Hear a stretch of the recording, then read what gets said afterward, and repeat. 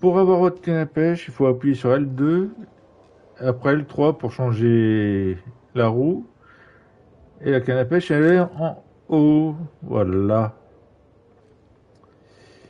Et après, pour pêcher, ben, vous trouvez un emplacement, hein, de toute façon, au bord de l'eau. Vous lancez la ligne.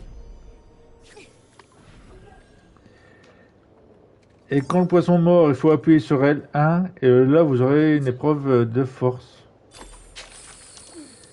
Il faut bouger à gauche ou à droite, ça dépend.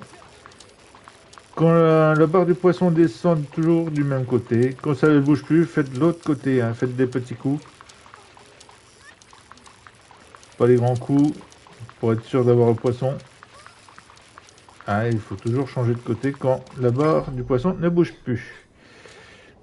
Et voilà, j'ai le poisson. J'espère que ça va vous aider.